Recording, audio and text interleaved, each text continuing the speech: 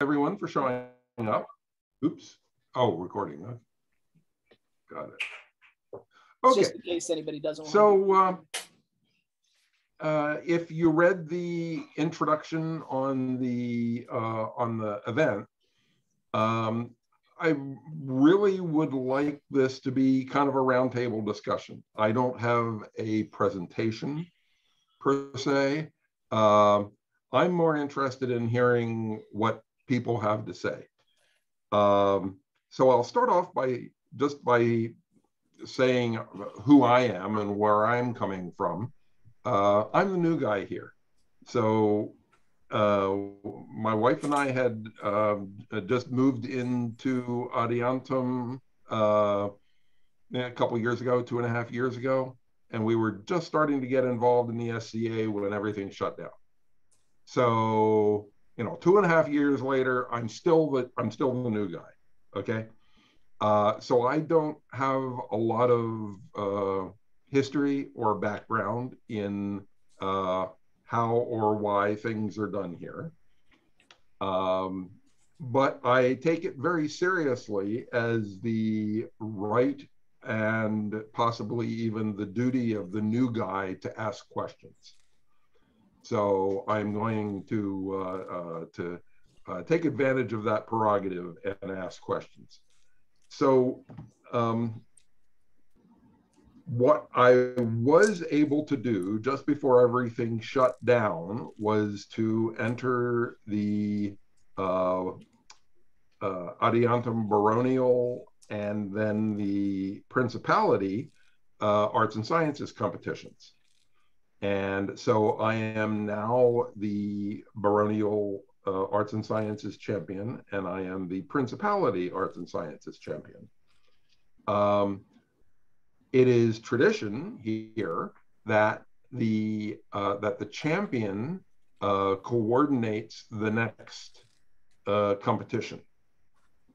Uh, so the the next uh, baronial Adiantum baronial competition is coming up in January with the midwinter feast, and then uh, supposedly there should be a uh, a principality arts and sciences championship probably in February in South March, uh, Klamath Falls. although they haven't started planning the event yet, so we'll see how we'll see what happens there. So as the uh, current champion of uh, in both uh, aspects, it's it will be my honor to run the next competitions.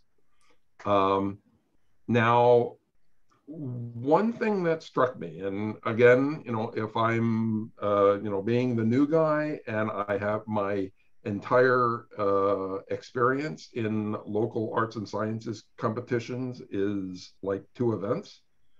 Um, but it seemed to me that uh, particip participation at both levels was pretty low, that there were not many people entered, uh, which I thought was kind of sad.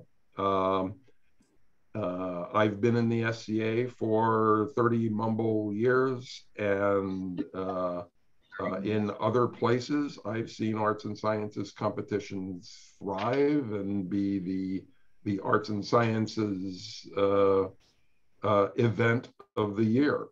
Um, and so, and also on top of that, uh, in the past year and a half or so, I've just being on Facebook in various groups, I've seen some discussions on arts and sciences competitions that give me the distinct impression that arts and science that the word competition is not welcome in terms of arts and sciences. So I'd just like to understand why. Um, and you know, if I'm going to be organizing the next uh, competitions locally, um, I have some leeway in how those competitions are going to be run. And if there's anything that I can do to uh, improve participation, to make it a more welcoming, uh, fun event, I would sincerely like to do that. But again, with my limited background, I, you know, I can have my own opinions, but it's not, you know, I, I can't, uh, Uh, I can't speak for everybody else.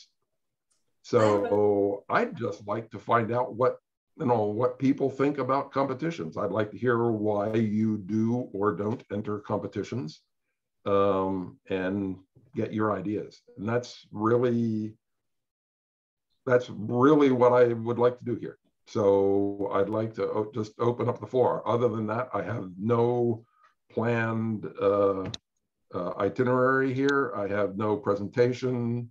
Uh, this isn't about me. So would someone like to kick it off? I, I'll dive into it. How many, what year? I'm, hang on, I started in 89, so I'm over 30 years. So what about for everyone else? 86. 82. Yeah, okay. 78. Yeah. Really? But Last year? But- No, not really. What I've noticed 71, but is I've only been active since really since 86. I got exposed to the uh, the SCA in '86, but since I was actually got exposed to Expo was during Expo '86, and I didn't realize I thought they were from a pavilion, so I didn't know that it was the SCA that I had encountered. But question: We're all here with decades, and and I think part of it is you know we've gone from the carpet armor, T tunic, the the sophistication both as we learn, as we grow, the sophistication and the cost has gone up to play in the SCA. Um, the bar for research has gone way higher. It's certainly approaching much more academic. And even for me, it's scary. Um, I think part of it is it is the increasing expectation maybe of perfection. And that's a thought where the it seems that the, the bar is getting higher. And that may be a perception just that I'm dealing with locally. I don't know.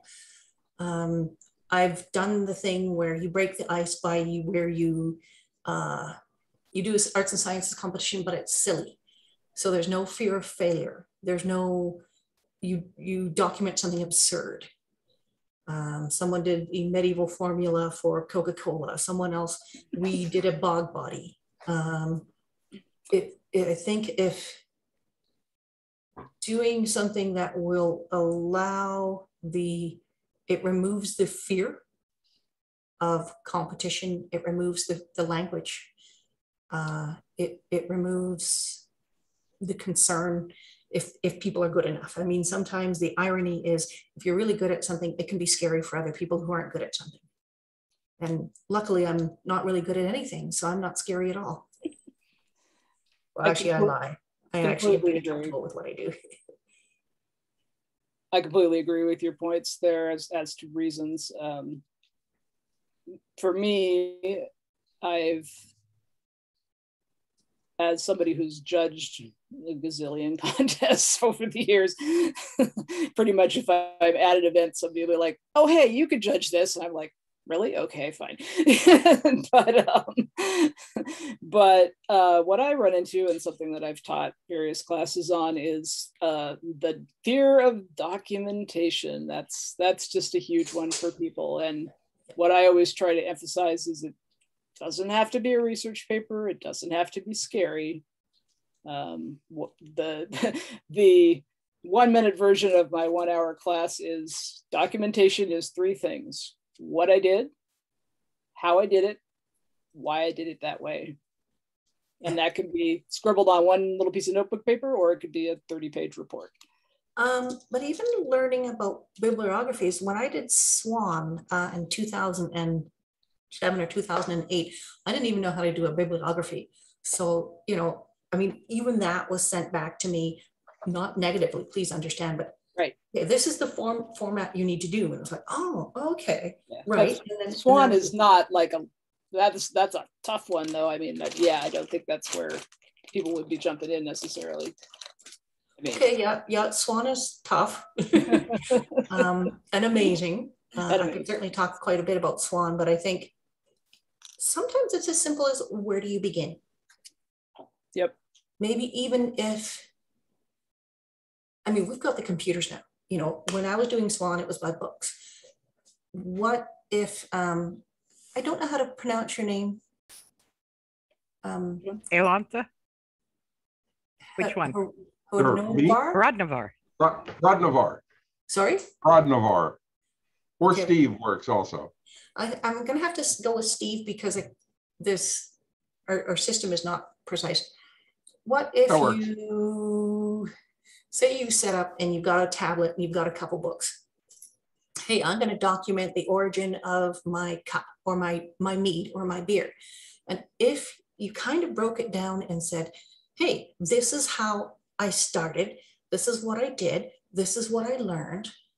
And kind of walk people through a single item, a single safe item. Everyone's got a cup. Everyone has probably drinks beer or eat something. You know, make it about food because that always gets people's attention. Um, and and just kind of lead it through. Um, I run arts and sciences in uh, Appledore, and it's really simple. You know, it's just I've I sometimes have a guest judge, and it's often just me, but it's just keeping it playful, keeping it simple. And once people kind of go, oh, oh, that's what that's like. It's not so scary. It's not so terrifying. Because each one of us, I'm going to assume, brings in a huge skill set that may be intimidating to other people. I'm not particularly intimidating. I'm always the one being asked. Like if there's a crowd, I'm the one that gets people talked to.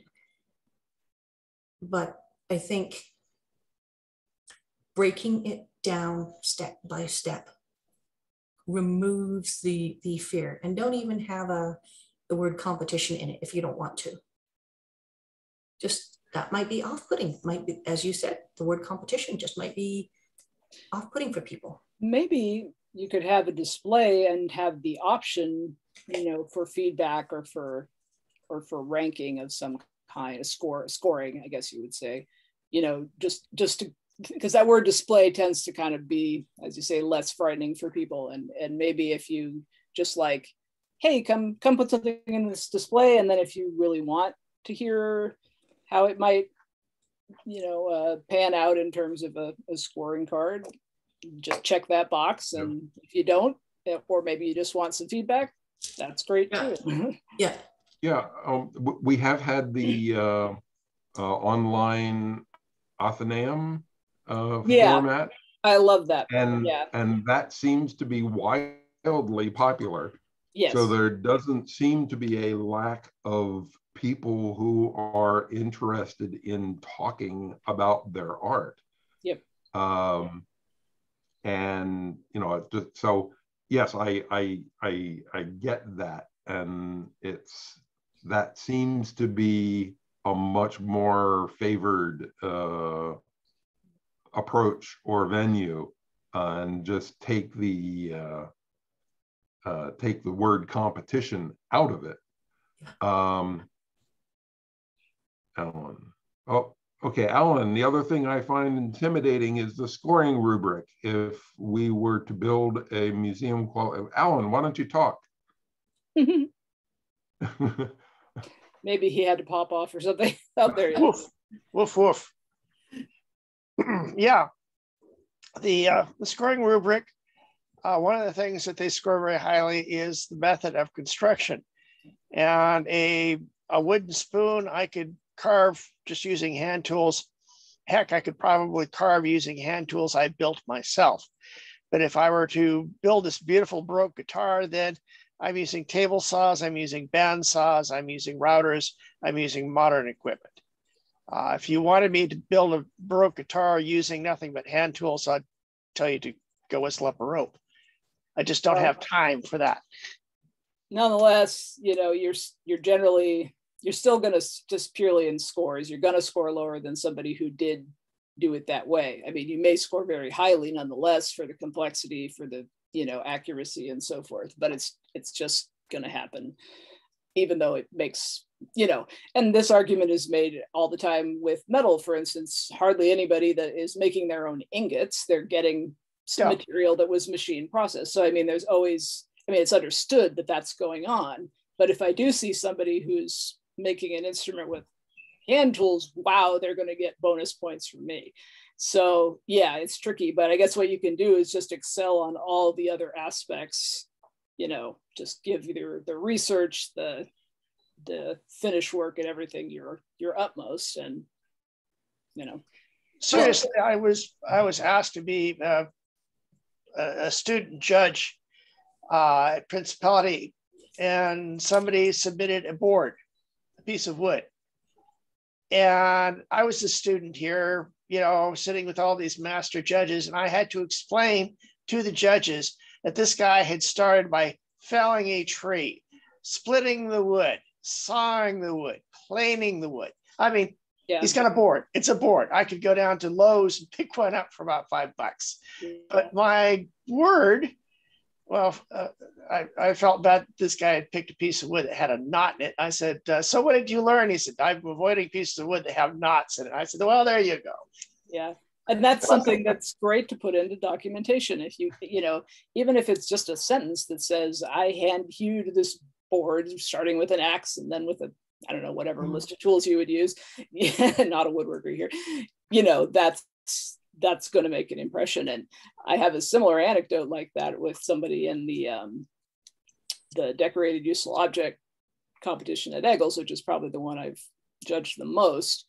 And um, you know, somebody won with a simple stone amulet with a like a rune on it, but he had gone out, he had found a rock, he had found another rock, made a you know made a tool out of it, chipped the the carving created the hole with a you know with a stone awl and all of that.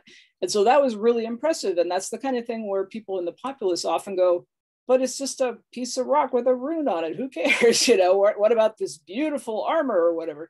But that's the nature of a competition that does emphasize you know authenticity and and that degree of of tool making it's not just it's hard for people to understand that the flashy thing isn't always going to come out on top. So I mean, I think it's important to to educate people about what judges are looking for. You know, that's that's a big one because a lot of people just can't see the rhyme or reason. Why did that win and this one didn't? I don't know. and I think, oh, sorry. In part, Alan, like if you were to build a guitar, um, and you say you use modern tools, but if like if if you went to Swan, for example, and you showed your guitar, and in your documentation, you would say, I'm just going to say, I had to take my saw and my skill saw and cut this. Now, technically, we would understand that that sometimes you would have to use a modern thing, the same way we don't see glasses, the same way we don't see orthotics.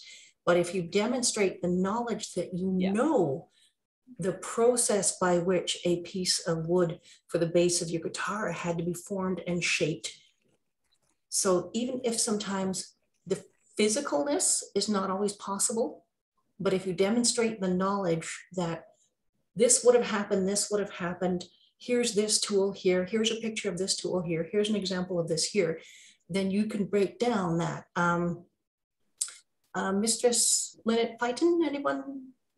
She's from Seagirt and she was arts and sciences champion 20 years ago or something like this. And she did a, uh, oh, come on, it's Richard II, and it's all those angels. It's an incredible piece of work, and I can't remember what it's called. it's all blue, but she had a travel prayer, but it was made of soapstone. But she carved it out using a power tool because she couldn't do it by hand. But it's also the work that an apprentice would have done. So that power tool acted as an apprentice so that they did the work. And then she was given Wilton, Wilton triptych. okay. That's great. Yeah, that's a great point. Yeah. Um, so it's part of it is we live in a modern world. Are we expected to do everything 100% medieval? It depends but can we demonstrate that knowledge? That yeah. we know that it had to be planed by hand with this tool. Here's a picture. And however you finish and make a guitar, you, you're demonstrating your knowledge and awareness of what would have been done and acknowledging that maybe there's a, a woman had to who couldn't wear fur so she chose other things even though her persona would have worn fur so there can be ethical reasons there can be physical mechanical reasons there can Economic be safety reasons are a big one. but as long as you know and demonstrate your awareness that it would have done this way medievally, you know, in Italy or Scotland or wherever. So it's it's demonstrating that awareness, you know, whether or not you would ever make a, an instrument entirely by hand. Well, that that's an unknown, but it's there. It's that is there is that potential. Yeah, that's a really crucial aspect for me as a judge is that if somebody can indicate that they did know and they that's where I, what I call rationale and, and that's the that's the why I did it that way is that rationale falls under that of just um, yeah I'm always going to be happier if somebody says like you said I, I know this should have been wool but wool's too heavy and I have a physical disability that that doesn't work for me that's I'm going to say that is totally valid. Or even I bought this fleece because it's what I could afford, also valid, you know, but the effort is there and the knowledge is there. Mm-hmm. I, well, think I think you've got a couple of issues there that we're coming from a perspective of people who have a bit more experience, maybe, than a lot of the newcomers. And hang on a minute.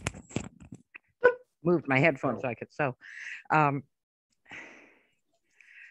when you're not coming from the perspective where we're sitting today, you've got people who say, Oh, I really want to do this thing and this is fun and I love doing it. But maybe they're just not booky. Maybe they're not into reports and writing things down and researching. And so they don't want to compete because they just learned how to do the thing. And they hmm. don't understand that doing the thing has value and that sharing that they've done the thing has value. So, so we need to start with that on our more local level events to work up to it.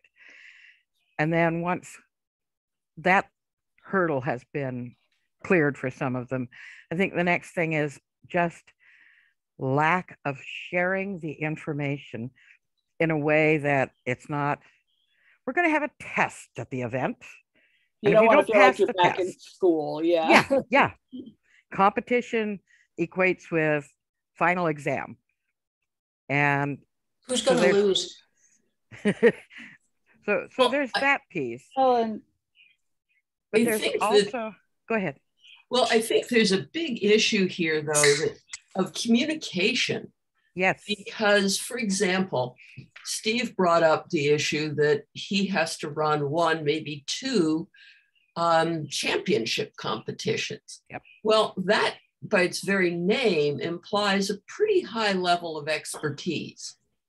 You know, I mean, you you want people who have done well enough to be the champion. I mean, the description of a champion is help defend the barony and say you had an arts and sciences competition. So well, let's send out our arts and sciences champion and he or she can, you know, do the thing and show what he's got and, you know, make Adiantum proud or make the summits proud. That's a whole different level of competition than say an Egils competition. Um, you know, big thousand person tourney with a, a, a nice beefy prize, but still you're not purporting to be the champion of anything. You're just doing the thing you do well and want to be, you know, see how you shape up against other people. Um, so I think there's, you know, there's levels of competition, and that needs to be made clear because you certainly wouldn't I wouldn't think want someone to enter their first competition and have it be a championship competition unless they were just very competitive and wanted to go gung ho anyway, in which more power to them. You know, that's great. But it could be intimidating for someone else when they saw what people were entering and the, um, you know, the criteria. That's another sore point with me is that most competitions, except perhaps for Kingdom Arts and Sciences Champion, don't publish their judging criteria. How can you enter a competition and ask in any reasonable way to be judged if you don't know what you're being judged on? Here, That's here. setting people up for failure and disappointment. Yes.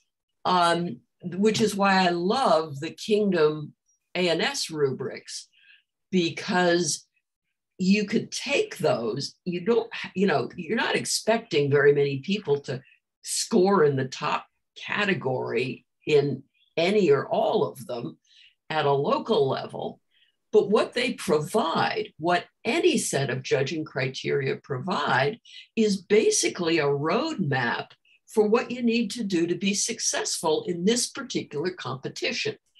If the competition is for newcomer first year, you know, first garb you've ever made, well, your criteria are going to be way different than if you're doing, you know, baronial champion. So I think that part of what we need to do when we set up competitions is make it really clear what we're looking for, what, you know, what, what is the level of expertise that we're hoping would be, you know, competitive for this competition. Um, and then make clear how those people are going to be judged by providing the criteria and then make sure that the judges are competent. And by that, I mean familiar with the criteria that they have to use to judge, have some knowledge of what it is that they're judging. I mean, I have been asked, I was like, oh, you're a Laurel, you could judge this. Yeah. What do I know about No. pottery? yeah. you know, ask me about enamels. I know something about enamels, not as a producer, but from an artistic point of view. But Uh-huh. pottery, eh, you know, so that, you know, just because you have a hat doesn't mean you get the job. It's you, you need to have people who, you know, if it's a costuming contest, have some familiarity with a broad range of costuming if you're opening your costuming to any time period, or you have a panel of judges with three people who do, you know, kind of cover the SCA time period. Because that's our problem in the SCA. I mean, is it is it recreation in the museum or research sense, or is it past the 10 foot rule? That's a world of difference. Yeah. Um, it's all of okay, if I could uh, ju- just uh, follow up on uh, a couple of things that you that you brushed on there. Um, you you brought up the fact that the um, uh, that the champion, you know, in my situation, the champion is now the uh, uh, the the coordinator of the next event. Well, I have certainly learned in uh, many years in the corporate uh, world that uh, artisans do not necessarily make good managers, or they don't necessarily want to be managers. uh, but they, but but the only way to get ahead in the corporate world is to become a manager. So you get a lot of people. Uh, it's the Peter principle. You got to get a lot of people that are uh, uh, promoted into something that they have no interest or uh, or aptitude for. Um, do people see that as a uh, as a drawback, or is that kind of so far down the line that people don't even don't really think about that that much? I suspect they don't think about it. And Yeah. as a former territorial baroness, I've got a big, ugly opinion here, which is that if this is a championship for a barony, then the baron and or baroness, it's their championship tourney. And if they would like the champion to supervise it, that's fine. But I think it's the baron or baroness's job to organize it in terms of doing the management stuff because they're management. Well, well, the the uh, at least the way it's the way it's been presented to me is other people are responsible for the event itself. Uh, I don't I don't have to be the autocrat. I uh, coordinate the the competition side of it. Um, but but also I've been told basically, hey, it's yours. Do with it what you will. Now, okay, so I've entered some competitions in in the past, and I kind of have an, have some ideas, and you know, I'm a I have a I have experience as a business manager. Okay, so it doesn't really phase me to uh, to to take control of something like that, but I could see that freaking some people out. Uh, so I just wonder if people think about that, or if that's just kind of that's that's too far down the line. People don't necessarily, you know, that that's not something that's going to discourage uh, people.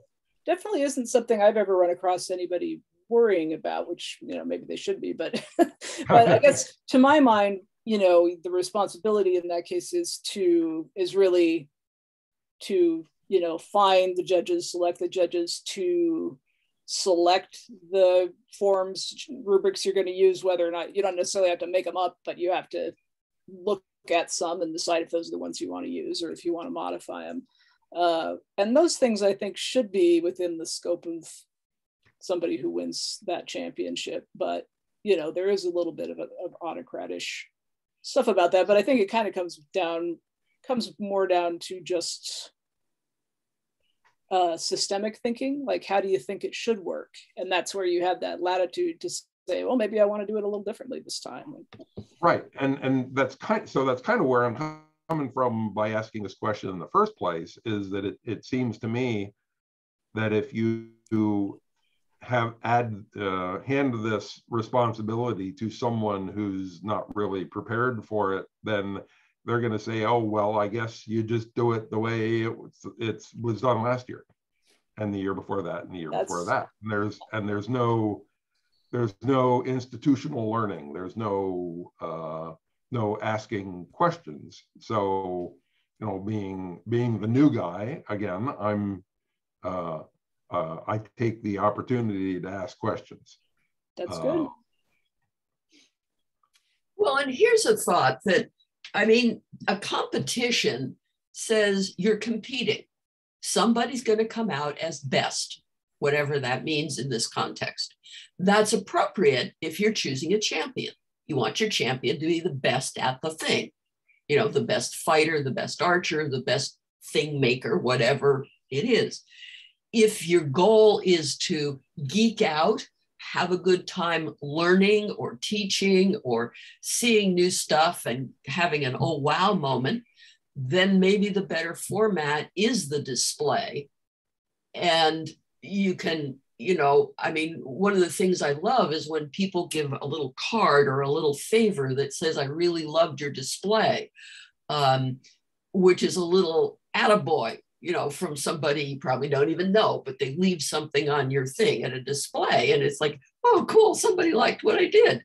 And even better is the person who sits down with you and says, oh my God, that's so cool. How'd you do it? You know, and it's like, Ooh, okay, you know, you're mm-hmm. lost for the next hour and a half, which is what for me the SCAL is all about anyway. So maybe we make things into competitions that don't really need to be it, you know, it depends on what what we're after.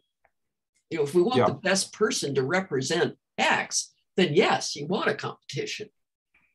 Well, I, I'll Yeah. give you a perspective from one who is not competitive. I it is just not me.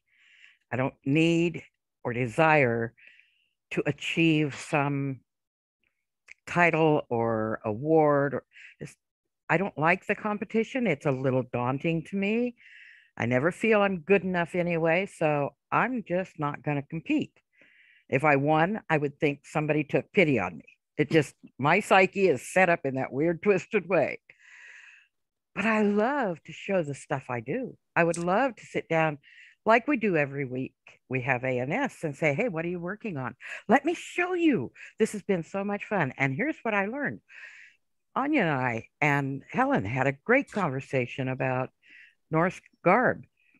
And Anya shared information I'd never heard before. I went, wow, that's so cool. I thought I'd research that. I got to do more. I love that aspect. The geek out part, sharing things at a display, that's my thing. Entering a competition, oh no. Oh no, I am not going to do that. But I love being able to be A&S minister here. I know I'm not great at it. I jumped in both feet in the middle of a plague, and I get that. But I love that I can encourage other people to try to do the things. Get out there, try it, look. This is exciting. Have you looked at this? Hey, this is cool. I have a link I want to share with all of you tonight that Catherine of the Lakes gave me. She's at the college this year. And there is an online Zoom being taught by an instructor who, um, and, and I'm saying this now because this fits in with what I'm trying to demonstrate. One of her professors shared that there is a Zoom meeting for students, but it's open to the public. You can all go. And it is Professor Michael Dietler from the University of Chicago's Department of Anthropology delivering a talk on humans and alcohol. Steve, you would like this. The archaeology of a deeply entangled relationship. He's talking about brewing and the history of humans and alcohol. And this is a link I get to share with everybody. I just got it this evening, so I haven't shared with anybody yet. You're the first. And it's tomorrow. I don't have a lot of time to spread this. This is the geeky thing I love to do. This is why I want to get out there and help others do this.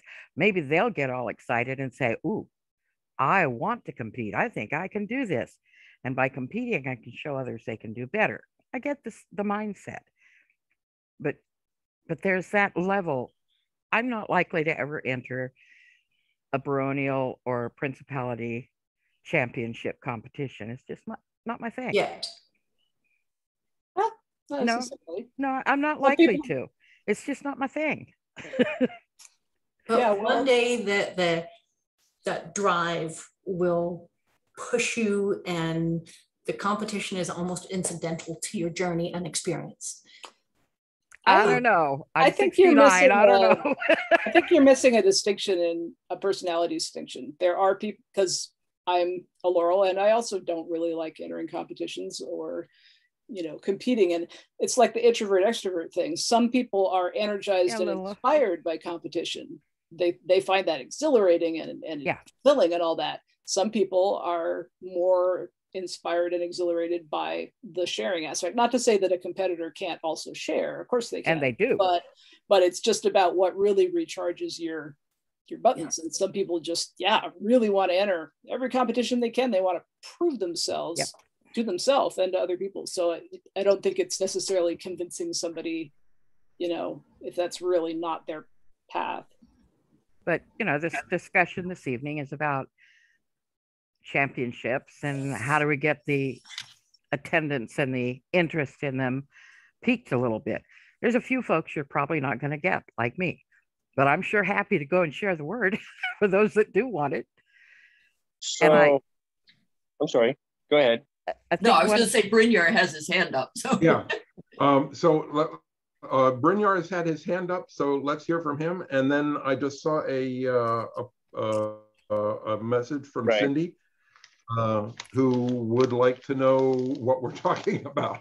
so um, I have a a years upon years of knowledge and, and experience in the arts and science community in a different different organization, but they they have much the same struggle that I see the SCA has, and that is, um, like you're saying, it's it, it feels like a daunting task. It feels like you have these so many expectations, especially with documentation and everything else. But what what I found, so I've entered uh, Baronial and Summit Champ- Championship.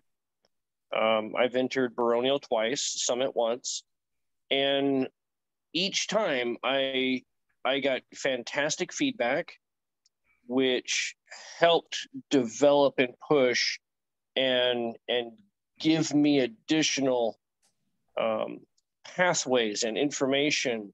Um, at every c- competition I've entered, I've had laurels or just people who were experienced in what I was talking about um, ask if I needed help or if I if I wanted some assistance and maybe helping with my documentation. Um, those are just avenues and connections that I wouldn't have had if I had entered. Um, so as far as getting people involved, I think part of that is going to be to reduce that, to let them know that documentation is not not necessarily focusing on the historical aspects of everything. Documentation can simply be a series of photographs and explanation of how you did your thing. That's documentation. Um, and then historical links can all come later. It all starts with that first step of saying, Hi, this is what I'm doing. I really could use some additional help. Can someone help me? Is that necessarily has to be done in a competition setting? I don't think so. Um, and like was being said earlier, um, I also was one of the people that was that was sponsored by Laurel to present my arts and science at Egils. And I got I just showed everything I had. And I had a lot of people talk to me. Oh, you're doing this. Here's some help. Here's this. Here's this. So I think what we need to do first is to get people comfortable in what they're doing. In order to do that, I think a simple A&S display is maybe the right way to go. Hey, we want to see you, we want to see what you're doing with your arts and sciences. Show us how you're doing things. Maybe you can inspire someone else who's stuck. Maybe someone else can help you if you're stuck. Um, and then as people get more comfortable as they start talking and learning that they're not being singled out, they're not being scrutinized, Or then maybe they'll enter more competitions if that's where they want to go. All right. Well, thank you. I also, Um, Cindy, if I Cindy, can reference, oh, sorry. Uh, is- Cindy posted a uh, uh, a message earlier about um, uh, just wanting to find out kind of what we're talking about, what our you know what uh, arts and sciences competitions are. Uh, Cindy, where are you? Where are you? Uh, I'm in uh, Glymm Mere. Okay. All right. I'm from. I'm unfamiliar with the geography around here. Where is that? Uh, Glymm Mere's Olympia area, Okay. Washington. All right, cool. Uh, so, so arts, arts and sciences competition. So, uh, you know, within the SCA, uh, we're a, we're a medieval. a medieval, we're a, uh, uh, you know, medieval history. Uh, okay, I'm getting a lot of feedback. Yeah, I'm somebody may have their, may need to check their setting. Yeah. Maybe turn off speakers if we're not speaking. Okay. All right. So let's try this. Um, so, uh, you know, in addition to the, you know, you've, you've got, you know, fighters fight and um, fighting by definition is competitive. Uh, you have winners and losers. And so, um, you know, different geopolitical areas will have their own uh, uh, champions in armed combat areas. Uh, likewise, in the arts and sciences, uh, we have, um, you know, there will be an arts and sciences uh, representative or champion for a barony or a principality or a kingdom. Uh, so it seems a bit weird or counterintuitive to say, okay, how do you have a competition where you compare armory and uh, uh, costuming and uh, woodworking and choose a, uh, a winner? so basically the the way it's generally done is there hopefully is some uh, sort of agreed upon metrics where even you know different types of skills can be uh, graded as to um, uh, where did you get your information? How do you uh, how did you determine how to do this thing?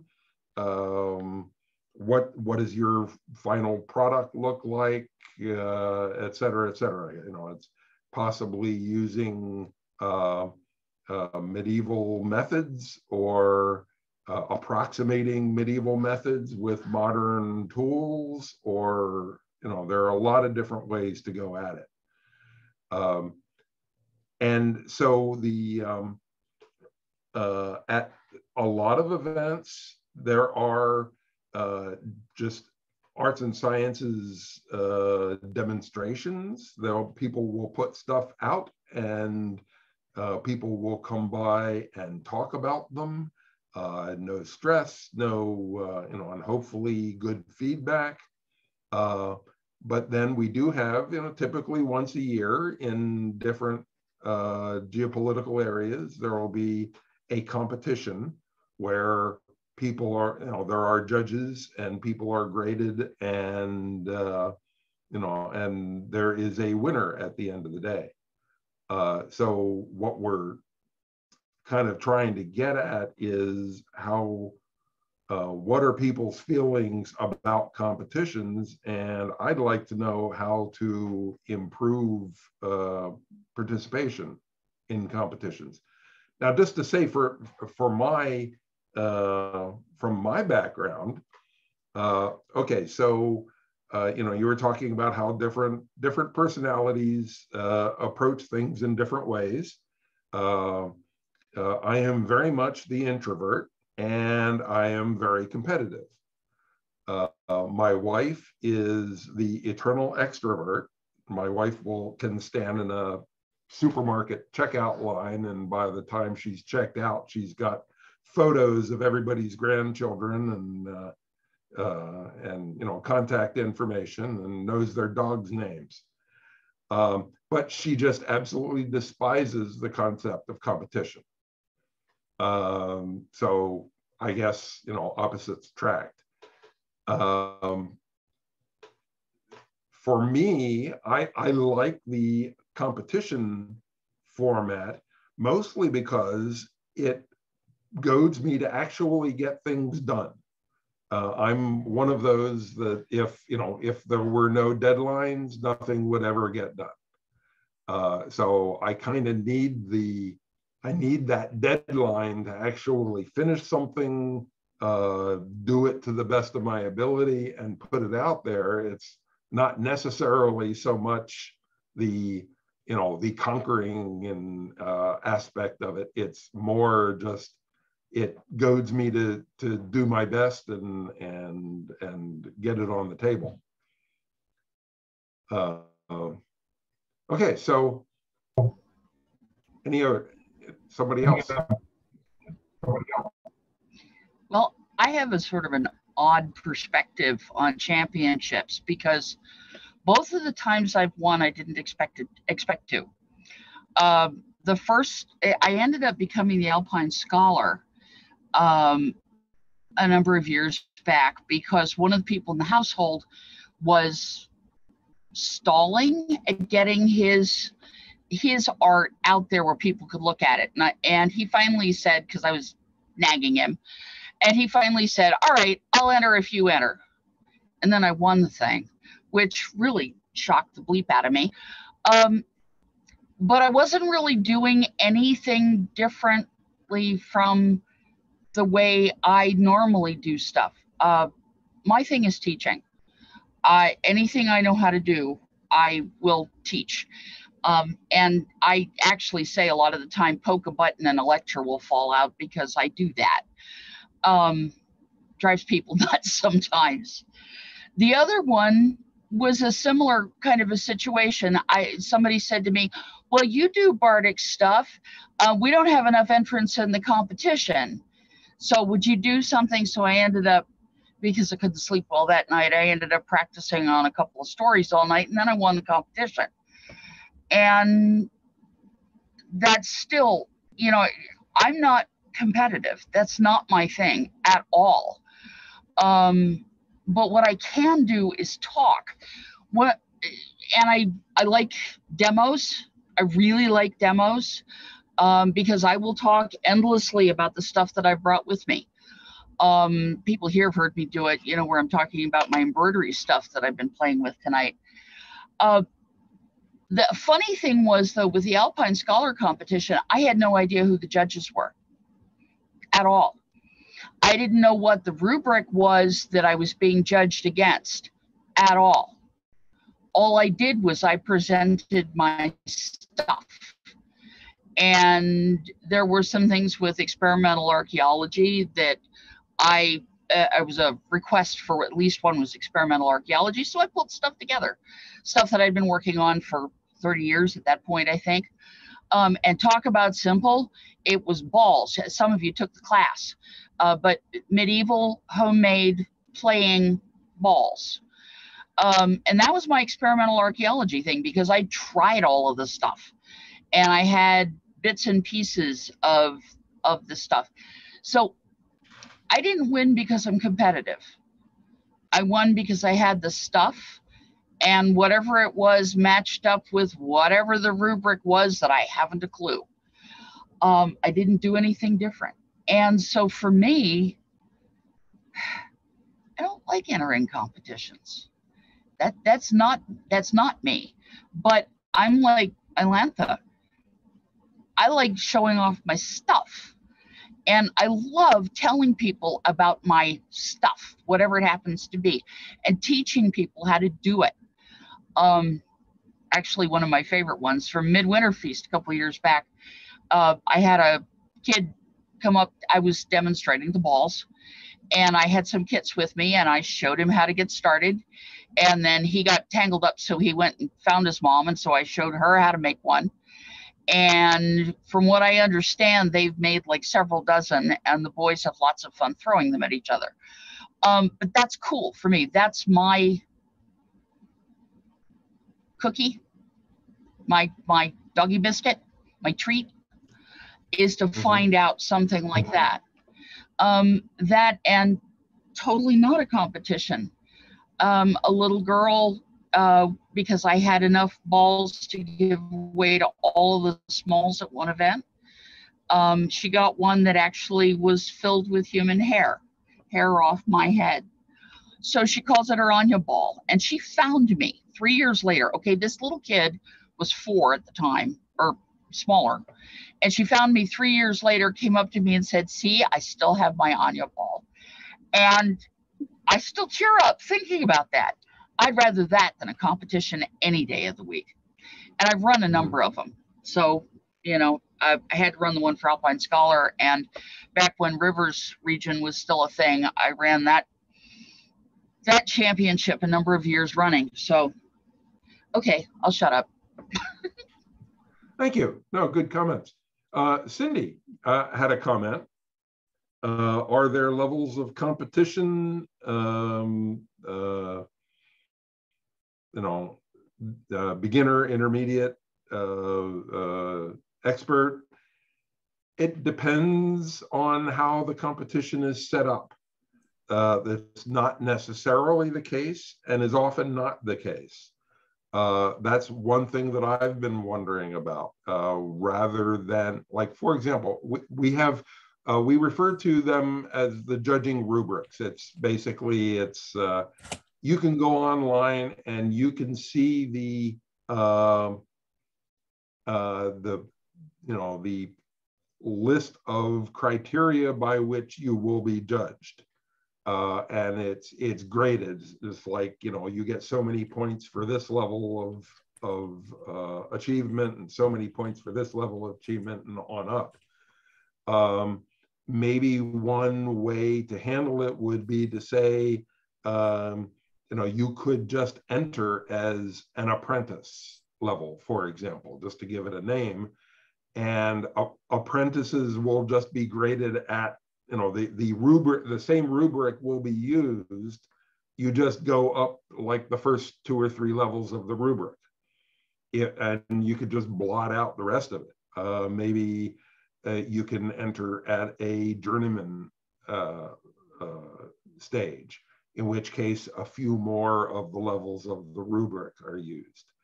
Um, so that's uh, that's a very good question. It's not something that I think we use enough of to be able to encourage people to start. Uh, as Brynjar said, uh, you can enter it at you can enter any level, and you are graded at the level at which you are. But it seems to me with the rubric, if if you're actually looking at the rubric and it goes all the way up to, uh, you know, this documentation is publishable, uh, and you know it starts at you know at a very basic level and goes and there's an expectation that the, the documentation should be publishable. I can readily see that that would be intimidating. Um, sorry. Yes Brynjar, your hand is up thank you I, I i find that's the easiest way to not interrupt someone um yes and and as i sit and think about it you're right. In most of our, uh, I guess, uh, designed and and you know uh, competitions are exactly that way.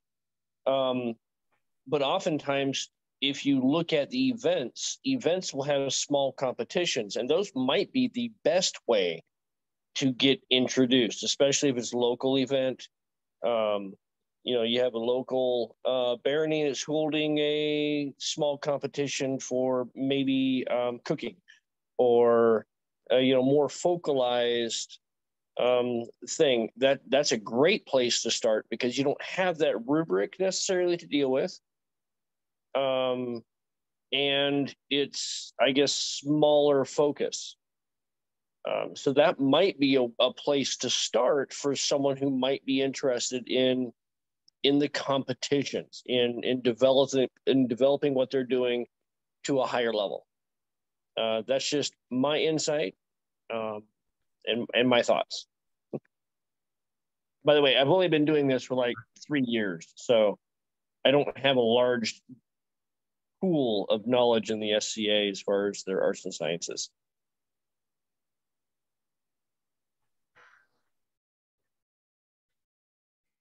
Okay, I saw a couple other uh, comments go by, but I didn't necessarily catch them. Uh, um, if uh, if anybody has a comment, the one I, I, know Assault uh, posted a, uh, a, link to a uh, I think it was a YouTube discussion on how to use the rubrics. I think.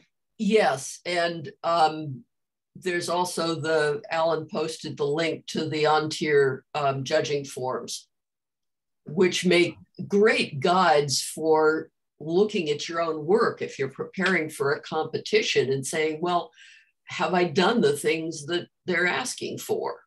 You know, or um, if there was uh, some other rubric. I mean, you, you need to have the rubric, but I wanted to bring up the fact that um, one thing that would help with a competition would be to use um, a thing that Raven used in her class.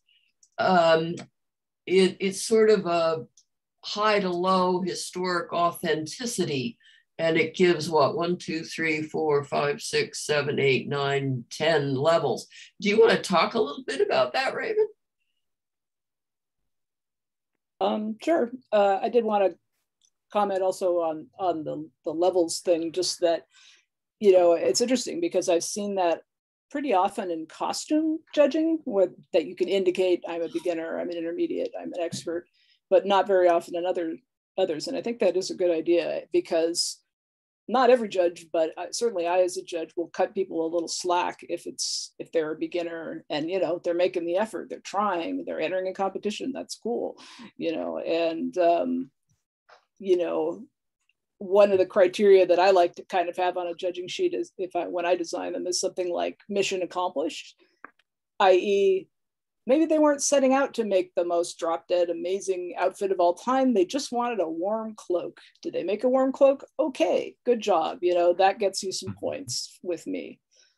Um, as far as the levels of authenticity thing um, it's kind of a you know a very unmedieval thing a powerpoint of um, with images because i find that uh, speaking of documentation is kind of abstract, it's very wordy, and maybe showing images would help uh, people really get a handle on what's more authentic versus less authentic. Like, why did my my piece was beautiful? Why did I score low on authenticity? And um, you know, so at the bottom you might just have totally modern object.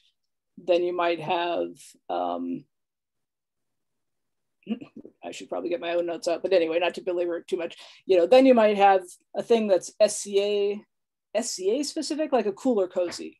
This is not something that existed in the Middle Ages because they weren't covering up, you know, plastic coolers. So, but it, so it's sort of a, it's not really medieval, but it does make sense for our society. So that's a little more authentic. than you know, from there on up, you might have something that's sort of like what I call a generic medieval, like like a half circle cloak could be from any number of cultures across 500 years or so.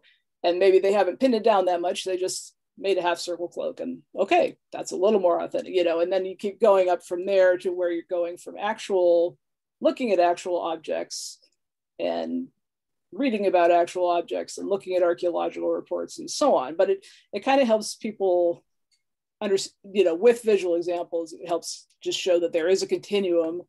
And you know maybe you maybe you aren't ready to write the research paper but you can still push your your level up a little bit you know with with keeping certain things in mind. That's where i came from um, is doing a lot of costuming um, and in the anime kind of geek you know comic book world. And so those are the only kind of competition well competitions um, and i mean they did like props and so that was why i was asking him like uh because I saw like what would encourage you. And I'm like, well, that would encourage me if I know if I was going up against other beginners who've like maybe never entered into a competition, you know, even if they have been in the sea maybe they're just now taking up, I don't know, whatever. Because and I don't even know what kinds of arts and sciences things that qualify. Like, you know, is it all and then so but but just knowing like oh i'm not going to have to compete against someone who's been doing this for 20 years you know and who has perfected their craft that would intimidate me uh, coming into it versus someone who's like yep here's another beginner and the people who have been practicing whichever science and or craft can then be you know so just more against their own like peers um mm-hmm. uh, unless you know it's like it's open to anyone and you can decide what category but uh, it's nice to know that i could join in and i don't necessarily think it's smaller or larger because like I wouldn't even want to join a smaller competition if I'm still competing against someone who's a master level at, uh, I, I don't know, like whatever the categories are. Um, and so that's why I'm like, I just want to kind of find out more about it. I mean, I kind of understand overall some of the arts and science things, but I don't know the breadth and depth that it involves. And so I don't know if they have similar categories. Well, um, one of the things I don't know how much familiarity you have with the sort of SCA framework, but you know, one of the elements that's probably pretty different from a anime type or science fiction costuming is that we're going, we're trying to emulate things within the specific time period. Um, what is it? What is it? 1600 these days is the cutoff, and so before that, it used to only go as far as about 650 AD, but now we're going all the way back as far as you want to go. So, so basically, we're looking in any competition. Well, most competitions, I, I would say there are some competitions like Baroness's Choice, where the Baroness just chooses what she likes, and it doesn't matter to, if it doesn't matter to her that it's really period or not. That's fine. She just likes it. But most of the time, an arts and sciences competition is going to be looking for objects that relate to that time period, that relate to a specific time and place, not just kind of a generic European medieval, but you know, say France in the 13th century or something like that. And and tying your item to historical items so that rather than you know making something up from entirely from your imagination you're basing it on something in the record is ideal you know? And this is not to say that you can't be creative with it and customize it and make you know put your own emblems on it or whatever but but the idea is you kind of have that starting point in mind. Thank you. Mm-hmm. and the range of of arts and sciences are just about anything. I mean if you can make it it falls into a and s. You know it's woodwork it's pottery it's it's fiber arts it's um, metal craft it's um, cooking. you know tattooing even. Yeah you know uh, so if, if it's a, a thing and you can make it then A&S deals with it. You know you're not hitting people with it or throwing it or propelling it at them. So it's kind of A&S and we're not even talking about bardic either when it gets down to it. Right which is Yeah. another part of which falls into that but is its own Yeah. thing. So yeah, yeah, it's it's an interesting thing here in in An Tir. It seems like, at least from my experience in other places, kind of the bardic thing is much more highly developed here as its own uh, has its own art, rather than being lumped in with the arts and sciences per se. Uh, I think it's kind of interesting. You know, they they generally have their own competitions. So Yeah. Okay. I might be able to help um, explain. Well, at least I'll, I'll just share.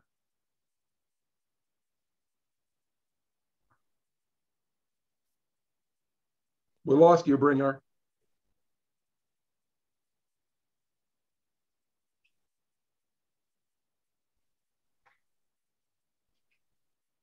We lost your audio.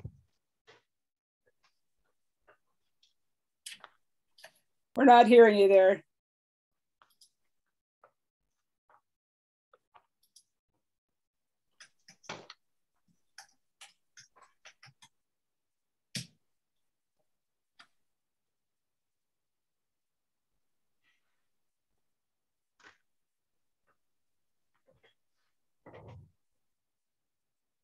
Brynjar.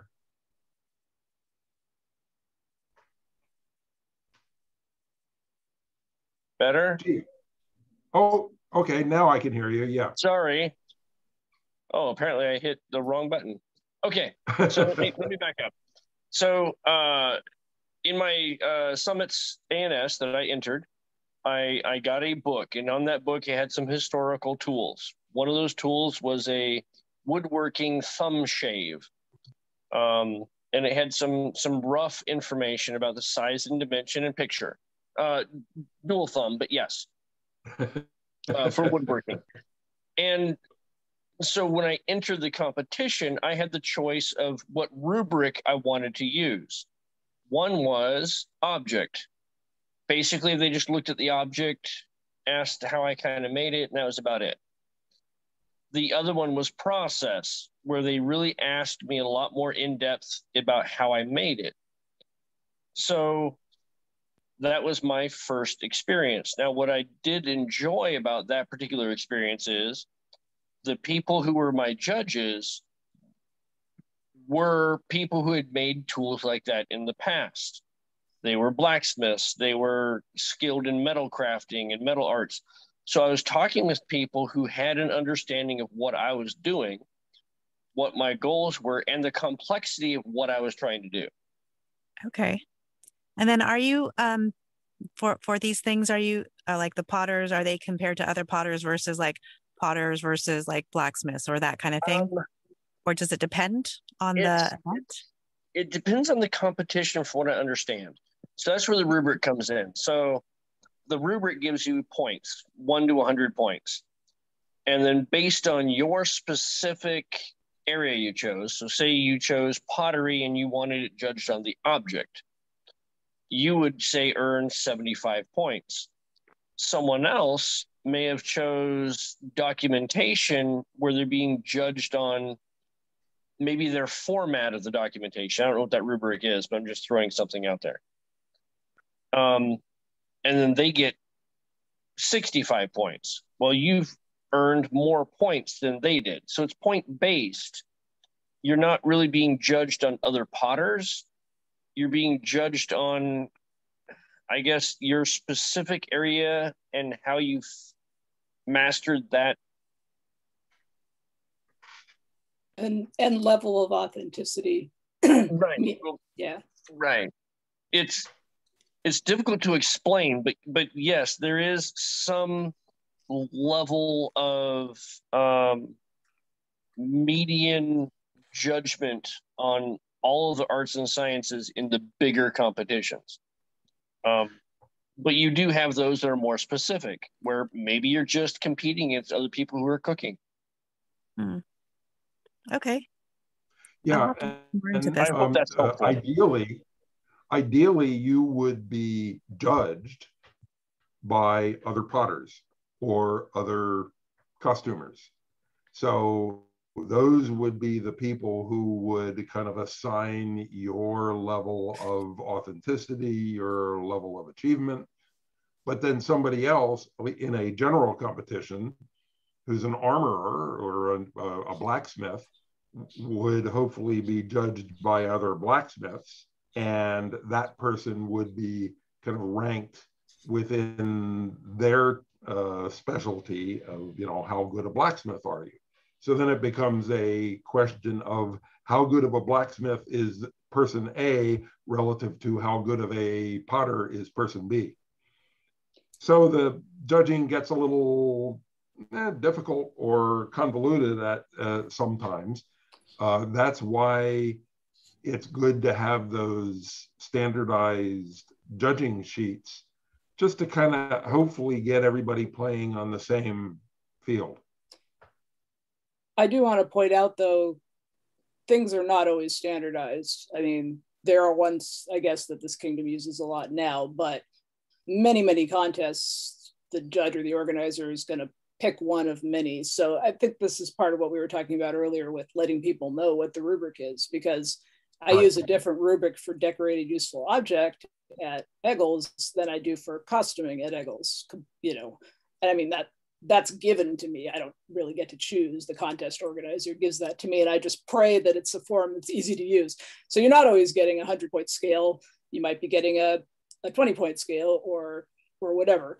Um, so just keep it that that makes it difficult, but it also means because everybody's got different approaches and may value slightly different things. But what you're going to see valued consistently is is going to be um, you know workmanship and tying it to the historical record in in some way and documentation is how you show that connection how is the object you made connected to historical things and where does or where does it differ and why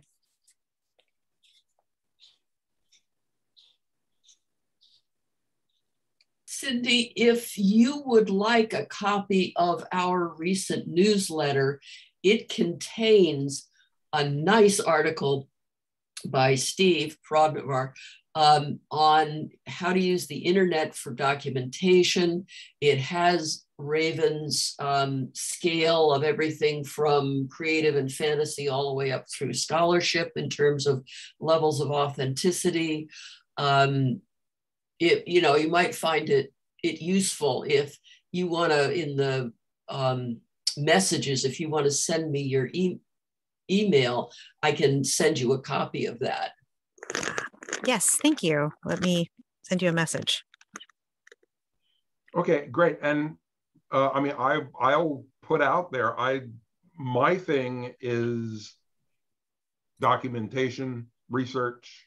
Uh, so I would be more than happy to help anybody that needs needs help in trying to find information. I can't guarantee any that I can that we can find it, but I can help you figure out how to do that uh, and uh, and also help with kind of writing it up at either a simplified level or a, or a complex level. I'm you know that's what I love to do.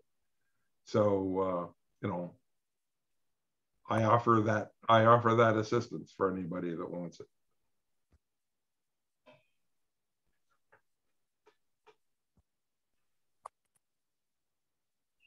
Hey, Brenda, I'm glad you could make it. Yeah, thanks for thanks for tuning in. I think you had said you were working out of town. Yeah, so, I'm, in, uh, I'm in Roseburg in my my luxurious, you know, bottom dollar hotel room. Uh, At least they've got internet. right. Um, but yeah, as far as future projects, um, my project's probably going to take me a couple of years. Um, my intent is to uh, recreate the entire Mästermyr box. So, um, and I'm not talking just the box, tools and all. Mhm. Cool. So, I've got quite a laundry list of things to do now. Anyway, Uh-huh. Thank you very much. I love the insight. Thank you for everyone who showed up, especially the new individuals. And I hope to see everyone at events. Be safe. Yeah, thanks, Brynjar. Thanks for tuning in. And uh, gee, yeah, looking forward to seeing you at events. Thanks so much for coming in tonight.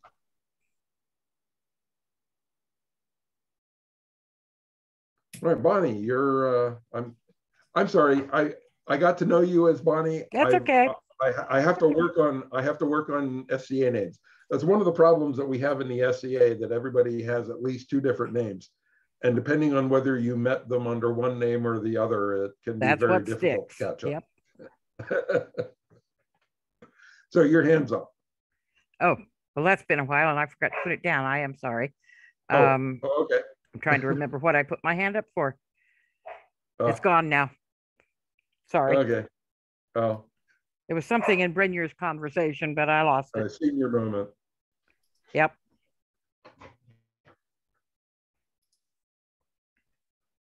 Uh, okay, so I have another thing to bring up.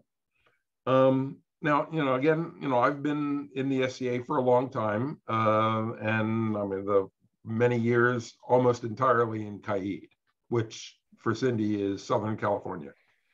Um, and uh, you know, I mean, they do things differently down there.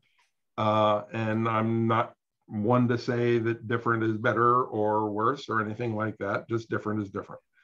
Uh, one thing that I've noticed here locally in, in An Tir is that the standard competition format involves basically an oral presentation. At the uh, at the baronial level, it was just sitting down at a table and presenting my work to the judges. Uh, at the principality level, it was actually doing a stand-up uh, uh, public speaking 15, 20 minute presentation to uh, an assembled audience. Um, now, I can do that. My, you know, my career, uh, I'm now retired, but I was, uh, you know, I am very uh, trained and comfortable as a public speaker. Uh, but I know that that just freaks the heck out of a lot of people. And I'm just curious if is that a um, is that a, a a detriment? Is that a reason that people don't participate? I think that that's very much something that the principality or the barony needs to make clear as part of the competition is what do you want in your champion? Is the champion's job to further the arts and sciences in which case maybe some public speaking ability would be a good thing. And if so that should be made clear because if people say that's not me i'm a great maker but uh, you know um, so again i think communication gets in the way and, and that we don't always make our expectations clear. I mean if i were the baroness and i was saying i want a champion i'm that would be something i would see as an asset so that would you know as opposed to just somebody who was in say decorated useful object or the go- costume contest at Egils where you're just looking for the expertise in creating the thing Hmm. you know so i think again it, it we have to be clearer on And I think that needs to come from the prince and princess or the baron and baroness as to what is it you want in your champion, a wearer of the coronets, you know, um, because that's a very fair question. And some people might be more interested or less interested depending on what the role of the champion is. If it's just to stand around and look pretty and wear the baldric or whatever, fine. You know. but if you if you are expected to to speak up and carry on, then that should be made clear so that people don't go, "Oh my God, I didn't I didn't want to do that," you know, because that's intimidating if if that's not your thing. Right. Yeah. When and I- I, oh, I, if, if I could just uh, uh, add one more thing onto that, if you don't do a presentation, if you don't do a spoken presentation, then that generally puts more emphasis on the written documentation, just to present what it is that you do. Um, and I know people don't like doing written documentation either. I, I and so it's just kind of a question of which one freaks people out less.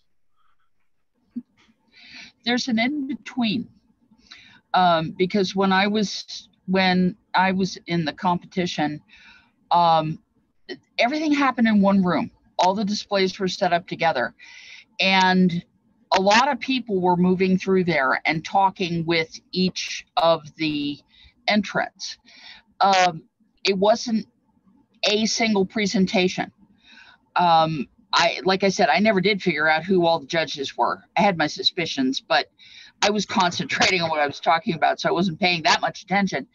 But it was that would be an option to if people are intimidated by doing like a full-on class or lecture or something like that. Doesn't bother me, but so, some people it does. I know. Um, but I had oh, I don't know, four to six people clustered around the table, and then a couple of them would wander off, and a couple more would wander in, and I just kept right on going, answering questions and talking about what I had. And so that would be an in between. I know a lot of the com- uh, competitions, and the one that actually I did the following year. Uh, were based on having all the judges there at once and doing all their judging and questions and everything at once. Um, and I, I'm pretty sure that's what happens at kingdom level too. Um, but that, like I said, that would be an option. Mhm.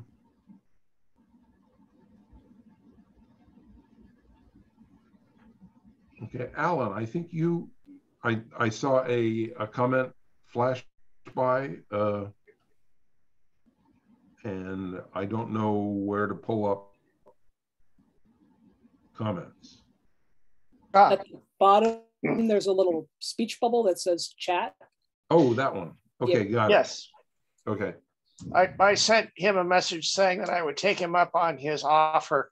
And I, the question I'd asked him is if I have sent him something from a previous competition, would he be willing to look it over and return it with a critique? Because I just, when I submitted my item, this would have been years ago, I never got any feedback. And I, uh, this is one of the reasons why I've been kind of soured. And then I went through all this work and they said, and the new winner is, I said, what about the rest of us?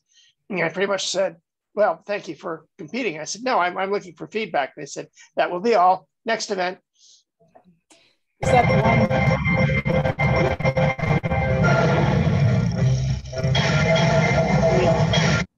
Seem to have musical background here. wow. Yeah. Not me. Okay, so you, you sent this to me? Yes, I sent you a private uh, message. But Okay, here we are. all right, all right, I'll take a look at it later. I Okay, promise I will get back to you. fair enough. Is that the one I also looked at, the ring one or a different one? Yeah, the ring one. I, if, now I don't know Well, whether I got, feedback on it, but not from the original. sorry. So I've given you feedback on it, but you're saying you didn't get any from the Oh. original judges, which I agree is lame. Ah, yeah, but I, I got no feedback at the original competition. How's that? Okay, and that's, that's unfortunate to my, to my mind, that's a large part of the reason for entering is getting the feedback. maybe one of the challenges is sometimes, you know, if you're being, if the judge is an expert in the field, getting the judge to uh, to realize that you're not, uh, but still feedback is a is an important part of the process. Yeah, I think that's also a significant thing for the person organizing the competition to consider is picking your judges because there are certainly people yeah. who have different philosophies and I always try to go for constructive criticism but not everyone is that way so you know depending on what you philosophically want the experience to be you know helps to know or at least a few people who can say okay i've judged with this person and here's what they're like you know?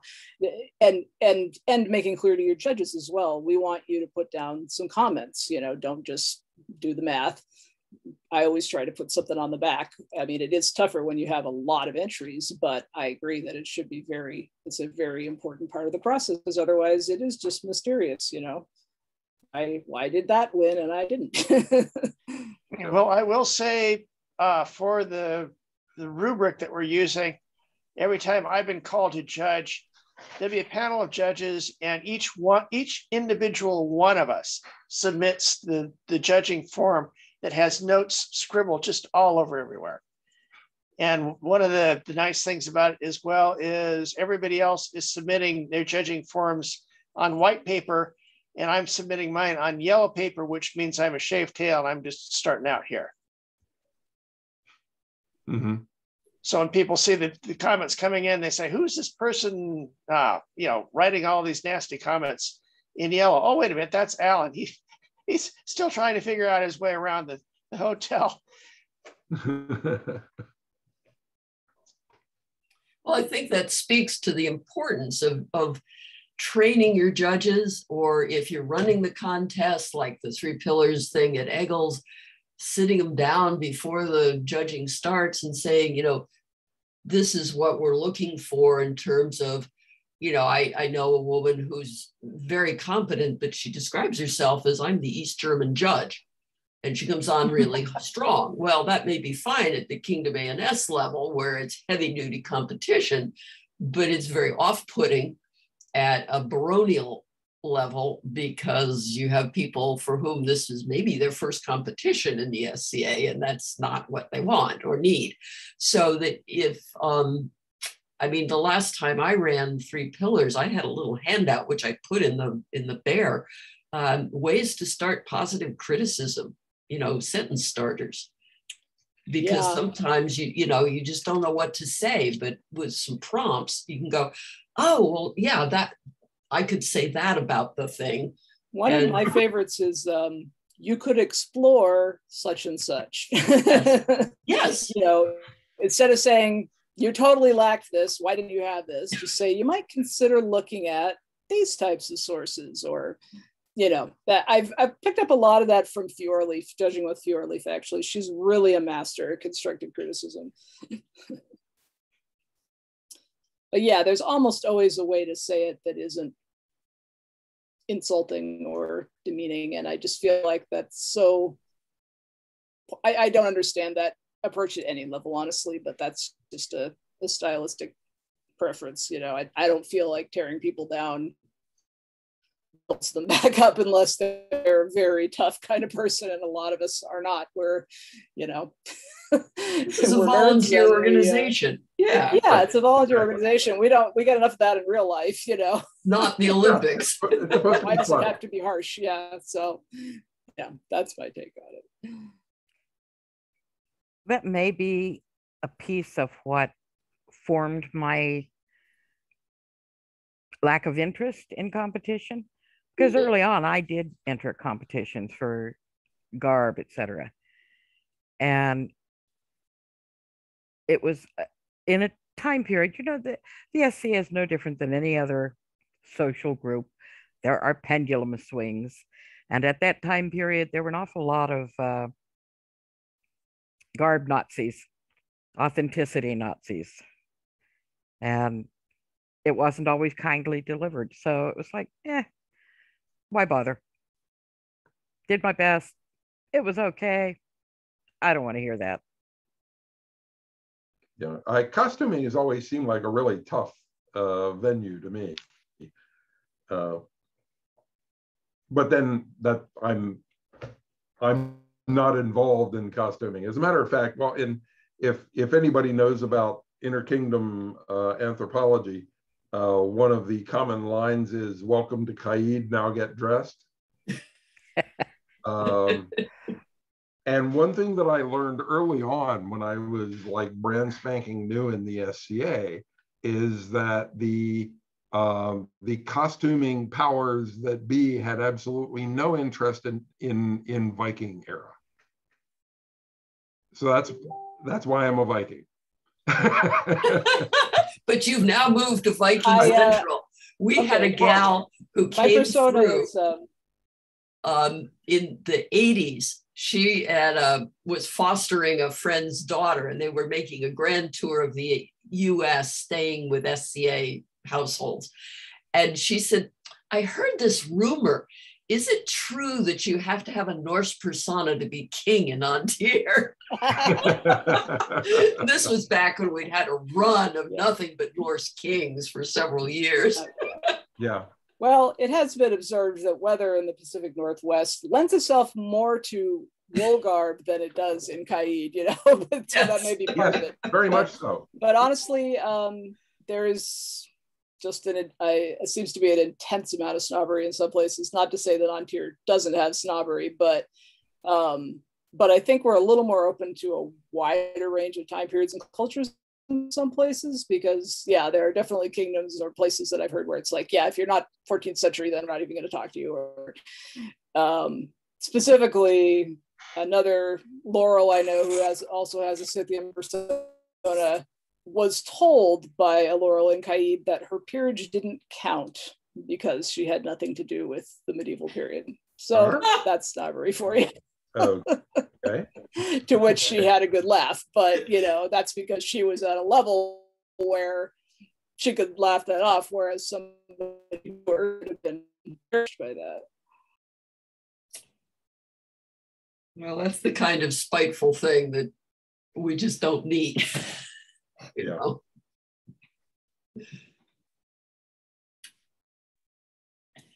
But I think the whole competition thing is is vastly complicated by the breadth of the SCA and the varying depth to which people go. And I mean, it's it's almost an impossible task when you have something as generic as A&S champion. I mean, Bardic champion, okay, you're going to be singing or reciting or performing. You know, you've narrowed it down a little bit. But when you can have somebody, you know, carving a rune stone or making garb or throwing a pot or, you know, making crispinets and, and Elizabethan scent bags, and they're all in the same competition. you know, I mean, you all you can do is compete against a rubric. Um, Right. And you know and it's it's still kind of apples and orange because there's a well-made simple thing better than a sort of well-made complicated thing. I mean we're back with the stone and the guitar and again there's other criteria that need to have been placed on you know what do we what do we want the winner to do or be able to do or represent? Um, so i think communication is is and, and clarity and making sure that the expectations are clear are just essential. Otherwise, you end up with people who have bad experiences and get hurt feelings and get turned off. And we might better have had a display. You know, if you're competing to be champion of something, well, yeah, you probably should learn how to do documentation because that's part of it. You know, I mean, you're a champion. You know your stuff, you know where it comes from, and if you need some help with putting it together that's one thing but i i also don't want us to say well you know it's not that important. Documentation is just this big scary thing. Documentation is part of the game. You know you just have to help people understand how to how to take joy in it and present it because that's what a lot of people really enjoy doing research. Well, a lot of people enjoy that, and a lot of people are daunted by it. It's the old high school report, thing, Yeah. or the the final exam stuff. If we present it as, look, just tell us where you found the information you're working from, so we know how much research you did. You know, it just Yeah, helps us all understand, gives us something to share with the next person that wants to learn. Maybe they want to go read that research too. It's how you A lot of present it. Yeah. a lot of the time I tell people, just tell us what you did. You know, and in the process, you're going to tell us where you found the information. Um, but I'm more into the experimental archaeology end of it, so maybe that has has something to do with it. Not sure. The why is important too. That's what I tend to to phrase it. You know, did you is it because you made it up out of your head, which is one approach, or is it because you saw this thing in a book, or you saw somebody else wearing that thing, or you know why? That'll tell us a lot about yeah where you get your info and how you use your info.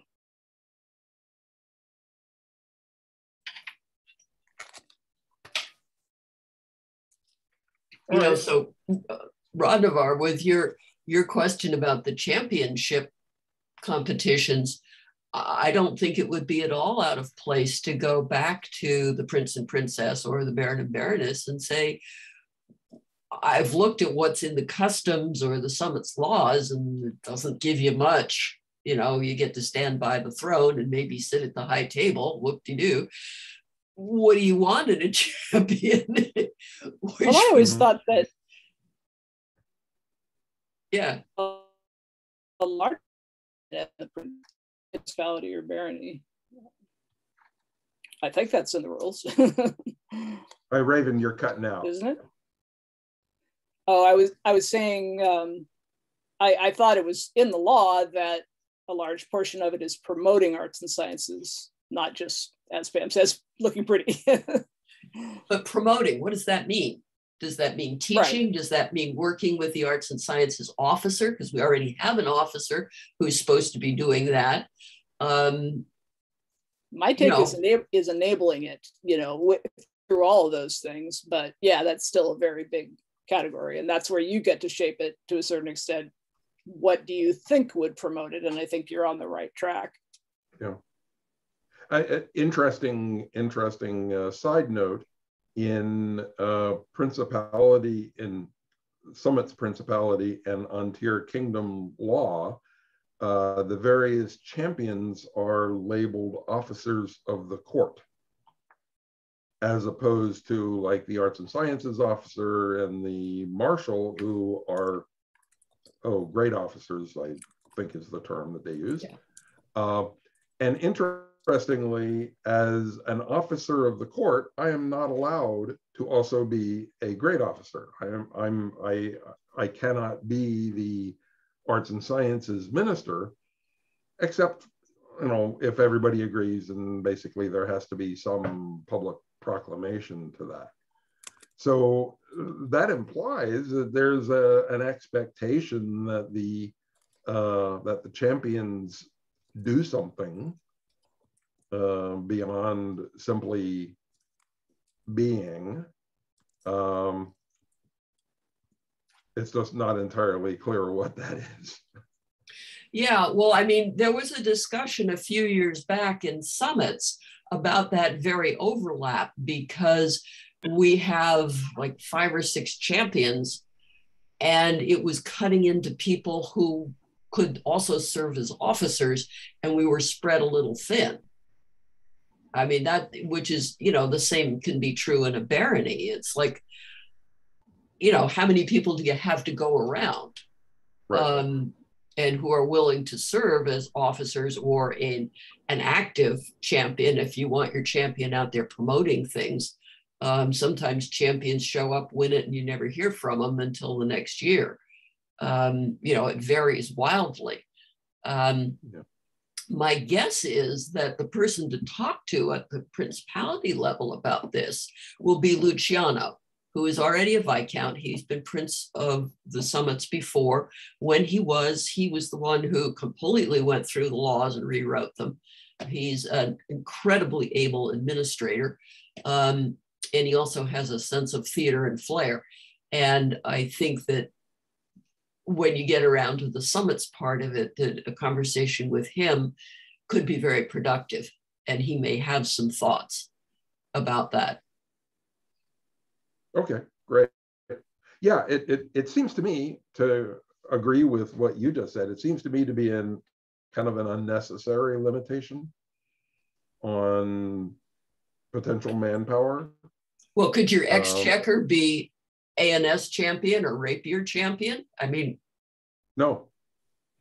But why not? Yeah. I but, mean, but I, why not? Exactly. Yeah. yeah. They don't overlap at all, really. right. Yeah.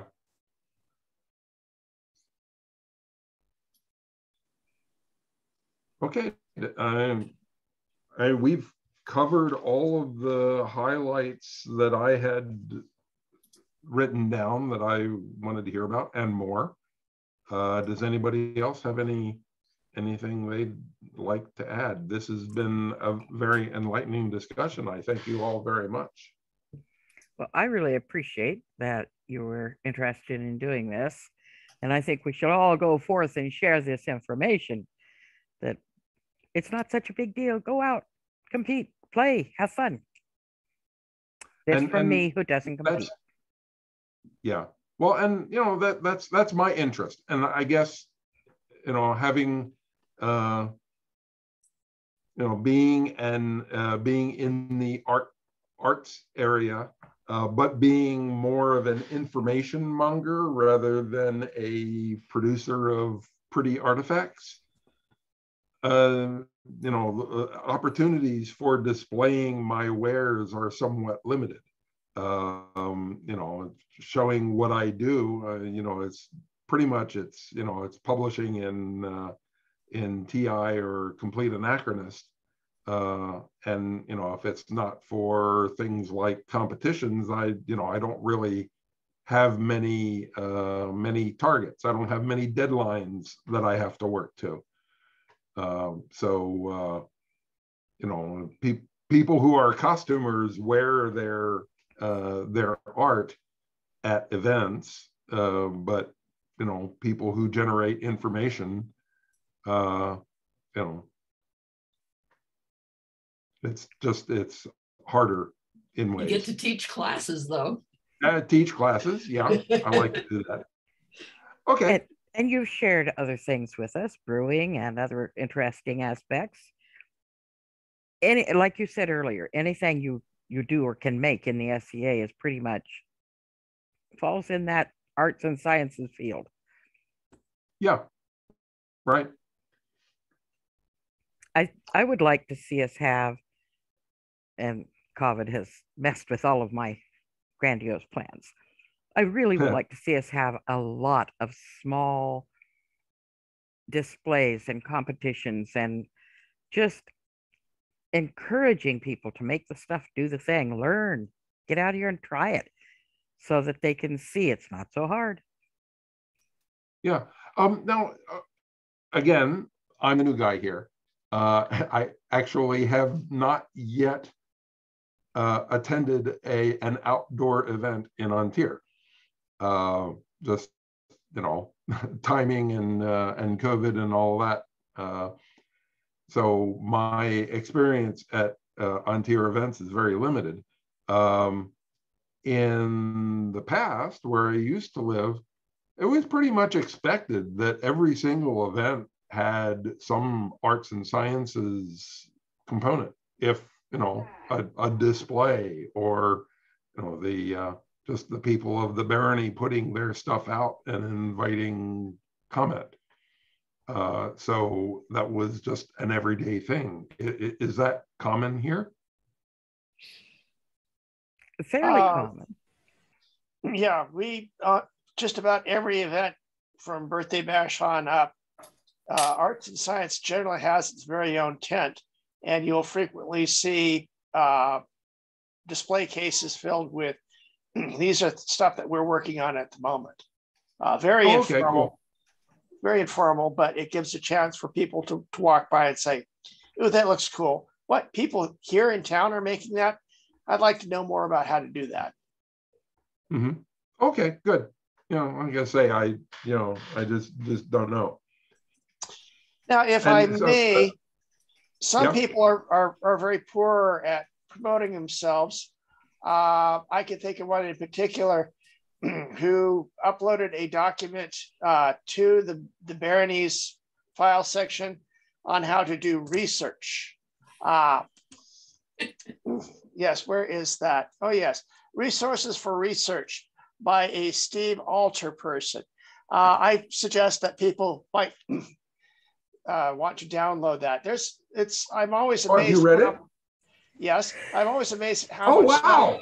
how- now we were just discussing this at lunch. Uh, you could have a hundred people.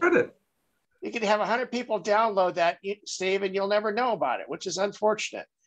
hmm Well, I mean, that, that's that's one of the things that I say in there. You know, scholars love fan mail. Uh, I, you know, I I would I I have published papers in in scientific journals and never heard a peep from anybody about any of them, and it's kind of discouraging after a while, you know. so uh, so good, cool and and I, I refer to that as a perpetual work in progress. I'm constantly learning new stuff and and amending that with with new uh, new things as as I find them. Well, I've taken a lot of things that you said in that to heart. Uh, I'm not allowed to return home at the moment. I'll have to wait until international travel is possible again. But I do promise you, next time I'm back in England, I will make sure that for months before that, I'm sending really nice little letters to curators at all the museums I'll be going to saying, you know what? I've never seen what the back side of that buckle looks like. Would there be any Mhm. way possible that I can have a chance to photograph both sides of this buckle? So yes, I I I found that it was very good reading, and I suggest that anybody here listening, if you haven't seen it yet, go into our file section and download, look it over. Great. Well, thank you for the plug.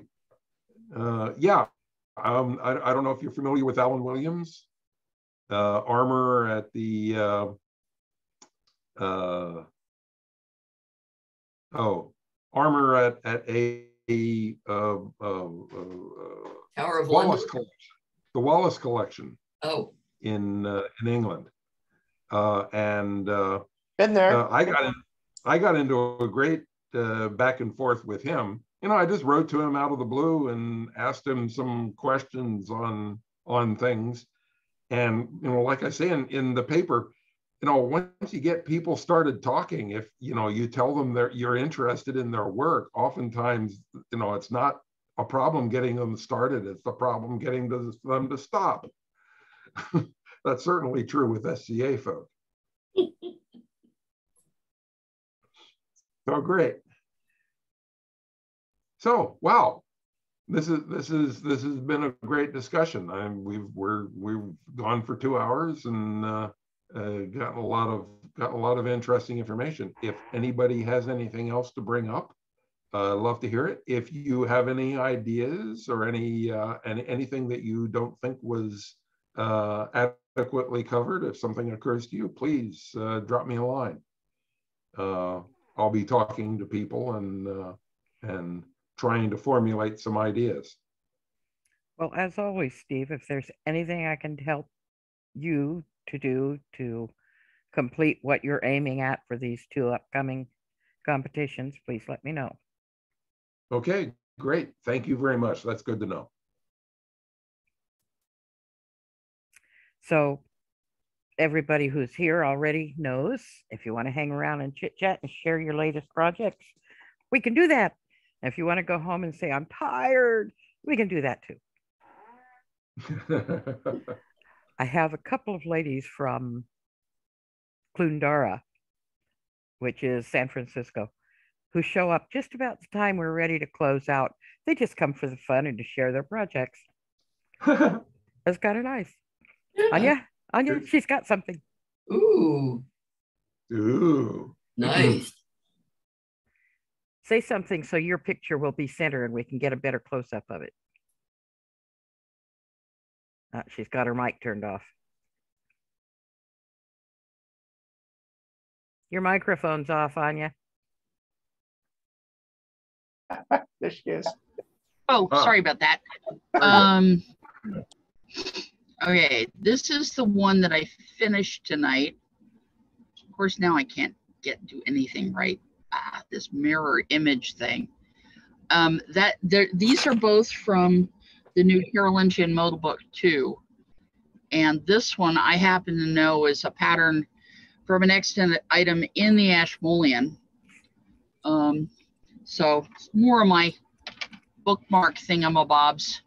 Oh, and you said that I could put a plug in uh, for the workshops that we're doing at the feast. Okay, House Capuchin does a winter feast. It is not an official event. Um, and we end up conflicting with things about one year out of three at least. Uh, but we, we have the event on a Sunday. This year we've got it set for the, the 13th of February. And we have set up so far two um, workshops. Uh, the theme for the feast this year is Norse, uh, basically Viking era Norse. Um, so we have somebody doing a class on festoons, a workshop on making the festoons, the things you wear on the front of your gown. And uh, there will be a materials cost for that. Um, but we also have somebody, Alpha Officium, has agreed to make some of the little shield medallions with bales on them so they can be added to a festoon. So that's going to be in the event information once that starts going around. Um, the other workshop is going to be Norse wire weaving. And just they were things that people in the in the group uh, requested. So things that fit with the uh, with the theme of the event. And yeah, we've been having all kinds of fun um, with working out foods and things. I did a, I keep talking about the lamb roll that I did, um, which was lamb, pickled kale, and garlic. Go figure. It was delicious. Um, but we're working uh, right this month. My my test recipe is the spit roasted chicken and the bread that's boiled in a bag. So some fun stuff. Um, but uh, somewhere in the next couple weeks, uh, we'll put up a notice, spread it around the various branches. Um, anybody who's here from outside of the summits, uh, the we'll put it up also on the summits uh, discussion group, so you, can access it. If you want to come to the event and you're not a house member, and it's a free event, by the way. Um, it's something the house does just as a gift to the other crazy people in the world. Um, but if you want to come to the event, you have to message me or whoever ends up putting up the, the notice. Um, that way we have some control over how much food we have to buy and everything else. Um, okay, then that's my thing. Thank you. Okay, I just have to ask if lamb rolling is anything like cow tipping. It certainly sounds like it. Um, actually, the, the thing is, you're supposed to, we did it with actually um, ground lamb to make it easier to do. But apparently, you're supposed to take a lamb steak and then roll it up, and then you boil it, uh, you tie it up or wrap it in cloth and boil it in lamb bone broth, along with things like the boiled bread and boiled peas in a bag and some things along those lines. Lots of fun stuff. But yes, it does sound a lot like cam tipping, cow tipping. and I'm not at all fond of lamb, but I tasted some of that and it was really quite tasty. It's I never thought of adding pickled kale to anything. Ever. but you got to do something with it, you know? Who, who thinks of making pickled kale first off? Yeah. Well, Well, I pickled just about everything that held still long enough. So they, the- me, I pickled kale. And the last jar of pickled kale we had, we ended up using it as garnish and 90% of it landed in the compost. hmm. my Arg. my ex daughter in law was Native American, and a- out of a series of very strange events, I ended up moving into a rental that her family had moved out of. And they left behind a whole cabinet full of canned goods. And Mm. every bit of it was pickled.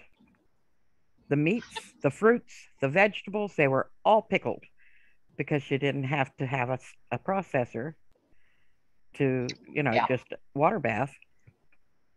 And I asked them about that. So, oh, yeah, we've always done that. That's the way the family does that, meaning Native Americans. So that was interesting to me. So pickled kale. Okay. Well, easy way to preserve it. Yeah. yeah. At least uh, keep it a while. one thing. Um, I- uh, I found that about three three months is tops on that, but considering how you know kale grows in the garden, Yeah. Yeah, we uh, uh, we processed our excess kale by uh, putting it in the dehydrator and uh, um, uh, drying it, and then put it in a food processor and turn it into dust. So it compresses by about 50 fold in uh, for storage. Uh, and then this kale dust is really useful to put in like stews or uh, or soups or things as a thickening agent. Uh, so it's really handy that way, uh, and it doesn't taste like kale. I was going to say you'd have to be careful not to overdo it. if you cook it long enough, kale stops tasting like kale. I don't want to know. It's the advantage of putting it in stew. yeah, right. Hi, Helen. Hey guys. Hey, hi. Hey. Nice to see you. Yeah. How are you guys doing? Good. Good. I was just heading off to bed and then I saw your message. Ah. Better late than never. Oh, I know. I know. Evenings get busy. So so what am I what am I popping into? What's everybody doing? Chit chat. Oh, cool. What you Very been working cool. on? Share share your projects. Oh my gosh. Um there's so many. Right now, I'm making a 18th century shirt for my friend in Williamsburg, so I can get that off in the mail. Making Neat. five, let's see, five male size medium tunic under tunics and linen, and then I've got. I just started cutting out the wool tunics. Um, what else?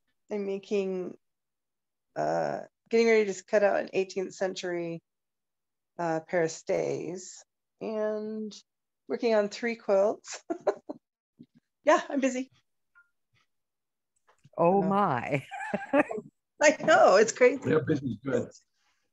Yeah, I just finished. Let me see if I can reverse my. How do I reverse the picture? Hmm. We we can probably see it backwards.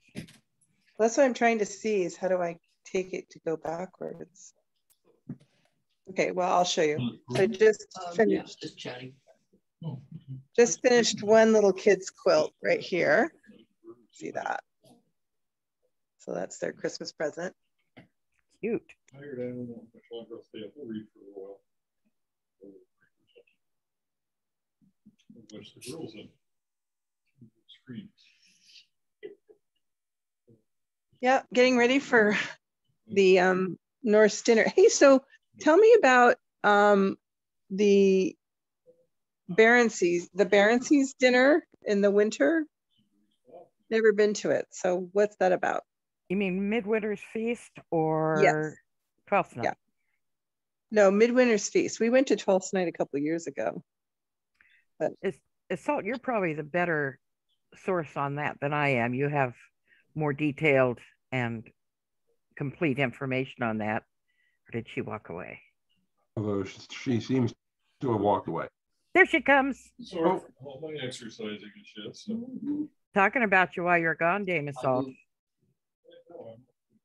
Oh, Nope, she's busy. hmm. There she comes. We're waiting for you. oh, oh dear. Helen has a You're question. And you're a good source. What for what?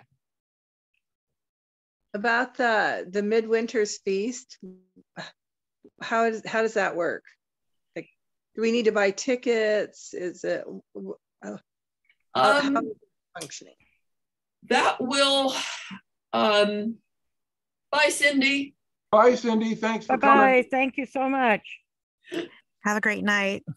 Um, midwinters usually, I mean, it, they'll post later on online, but usually you have to pre-register just so we, you know, know how many people are coming for the food part. Right. Um, and with the COVID things, I think they're requiring pre-registration for all events now. So there will be something up in the Adiantum, you know, chat group about that. Um, but yeah, there probably will be pre-registration, both So can you- COVID and and you know feast ticket kind of thing.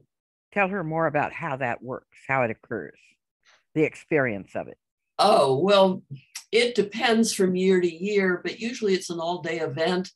And you have, um, there are two or three championships that are done at midwinters. I don't, I think maybe Rapier might be one of them. Ra- Um, Rapier and cut and thrust. cut and thrust, and then And is the that arts one A and. S? Yes. Yeah, and so arts and sciences. So we have those competitions during the day. Um, and then usually a feast in the late afternoon or evening. I think it's going to be late afternoon, judging from the hours, because I think they're closing the site at nine. So, um, Sometimes there's also like a simple lunch by nation kind of thing, but I don't know if that'll still be the case. But um, and there's usually some some kind of SCA business meetings, which anybody's welcome to attend if they're just sort of curious about the nuts and bolts aspects. yeah, not so much business at midwinters, but sometimes, yeah, Uh, sometimes there's various things. yeah, and then the feast there's usually a, a court of some kind uh, in the sense of uh, um, and awards might be given out and gifts might be given out and things of that nature maybe some performances yeah. So Wow. it's, you know, a little bit of everything kind of. It's usually a good laid back kind of event for just, you know, chatting with people and meeting them. And, you know, the competitions kind of take place wherever they take place. And you can kind of watch that if you're interested, or you just find a place to sit down and schmooze with people. Um, work on projects as you know a lot of people bring their sewing or their scribble maybe they're painting in some award scrolls that kind of thing just whatever you want to work on during the day that fits in with the themes yeah. Is there is there a, per- a certain time period for it, or can we just wear whatever? or whatever. Sometimes they've been themed, it, usually for the feast itself, you know, just because somebody decides, well, I'm going to do Iberian Peninsula. We did one of those a few years back, but um, the event itself, no, it's just, it's midwinter court and a good time to be had by all, really. You Oh, cool. hardly hardly ever see an uh, like public SCA event that where people are expected to wear a certain time period or whatnot. I mean, you might you, they might say the theme of this is maybe we're going to do the feast in Roman style, and if you want to, you could dress up Roman, but you certainly don't have to. So, you know, come as you come in what you have to wear that would be comfortable in a warm. Like, don't wear your wool because it gets really warm. Yeah. Oh, well, see, that's good to know because we might have shown up in our wool because I'm making Yeah. everybody wool Norse garb right now. Right. So at least have some layers going on because you might want that getting from the car to the site, maybe if it's pouring, but then you might want to go a few layers lighter. Yeah, I'm trying to remember Long Tom Grange. I don't remember a whole lot of feast of heat, but on the other mm-hmm. hand, Yeah. you get 80 people in the building and it warms up. Yeah, Yeah. it was. it Does was- it have a it was- kitchen? That's where we had it. That's Yeah. where we had it last time, and it was it was pretty warm. Uh, I was definitely overdressed. All right. It depends on the feast too, but another fun way to get involved could be um, if they call for servers. Like sometimes some feast people will like have their servers in advance and all that. But most of the time, it seems like these days they mostly just have one person per table say, "Okay, I'll do it," and it's just kind of fun. It gives you something to do and feel like you're part of the action. so that's that's or if you're interested in volunteering in the kitchen, sometimes they'll need people to help peel vegetables or whatnot. Yeah, that's a great way to get to know people. Yeah. So yeah, there's uh, nothing like peeling a mo- mountain of carrots with somebody to get their whole life story. So I, I, I, I would imagine that most, uh, most people, or at least old timers, know uh, Sir Attila. Um, Is it a person? and uh, uh, hmm? a person? in or- uh, um, uh, uh, uh, Attila Caroli, uh, he was Oh, Sir Attila. here. Uh, at least that's how I knew him. Uh, so um, uh, he was in Caid a long time ago uh, while I was there, and we were we were good friends there. And he liked to uh, participate in the kitchen, in uh, just kind of cutting and dicing and just being and you know it was kind of a thing that he was into um That's what I and like, he was a yeah. great he was a fantastic attraction for kitchen help because he loved running around the kitchen with his shirt off and so all the ladies wanted to work in the kitchen and my wife still has uh, very fond memories of uh, uh, of of that. So yeah.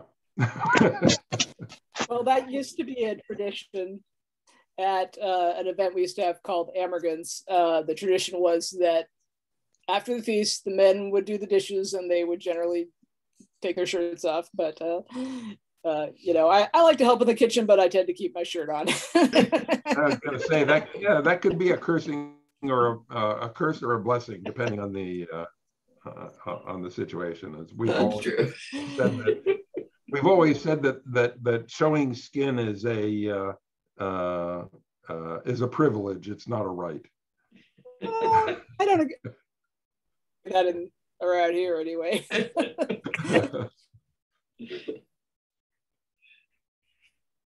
Some of my favorite times for washing dishes after a feast. yep. Yeah.